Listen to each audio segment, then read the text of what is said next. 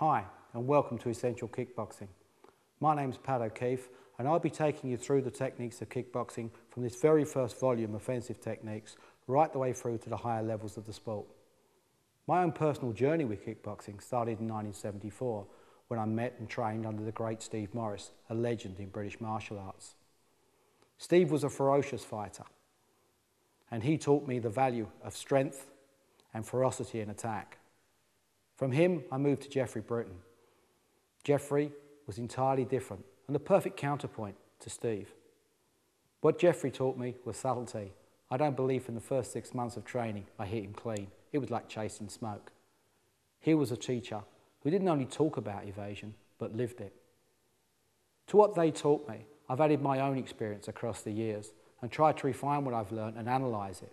Analyze